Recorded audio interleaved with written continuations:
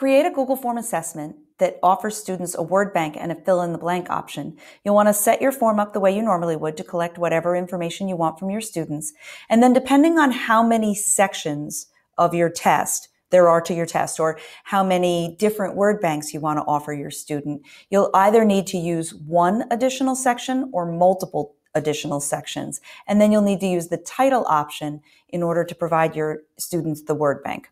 So here I've clicked on the equal sign to create a new section. I called it part one transportation. I gave my students the directions about how to fill in the blank. And then I've created several different options of word banks. And the reason I did that is I want to show you what they look like to the students. And then down here, I have my first question where I, I typed in my question, put in um, a blank, and then I changed the question type to short answer so students would have to type in the answer.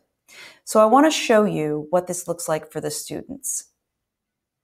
Okay, anytime you add a new section, you're going to get this next button at the bottom of each section that students will have to click to to go to the next section.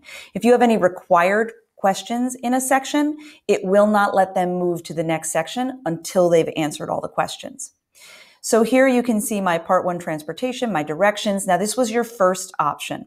I used the title and the word bank and the words are all in the title line. You'll notice that they're very close together. You cannot add extra spaces. It will take them out.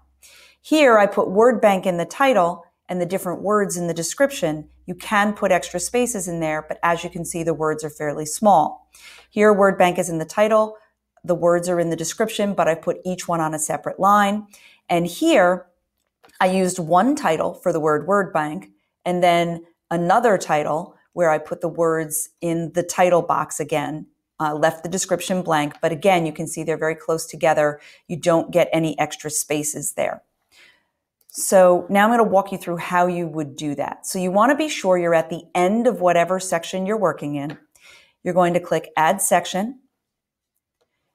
You might want instead if you, especially if you only have one word bank, to call the section word bank, and then use the title option for your individual words. You also could put them in the description where you can use extra spaces. Then you'll add a question.